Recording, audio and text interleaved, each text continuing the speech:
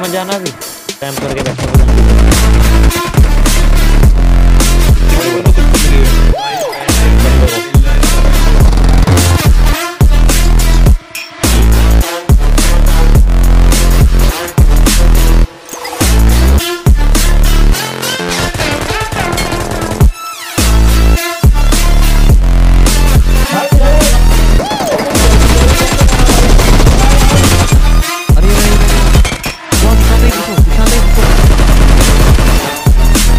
Mid 15.